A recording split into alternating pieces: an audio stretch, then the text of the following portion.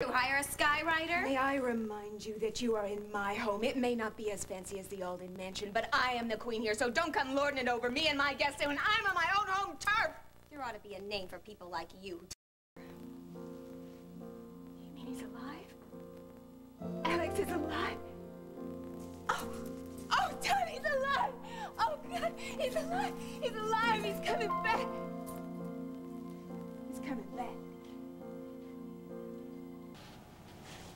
Clay is alive.